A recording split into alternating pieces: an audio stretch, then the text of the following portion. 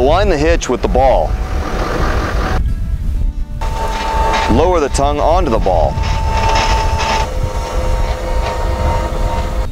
Now close the hitch. Fully retract the jack foot and remove it. Attach the safety chains. It is a good idea to cross the safety chains. They will form a cradle that can catch the tongue if it accidentally disconnects. Plug in the power cord.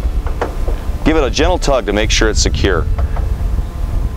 Attach the breakaway switch cable. This device activates the trailer brakes if the unit is detached from the tow vehicle. Checking your lights. For safe travel, always run a visual check of your trailer's tail lights. Check both left and right turn indicators. Check your brake lights. Check your running lights. You are now hitched for travel.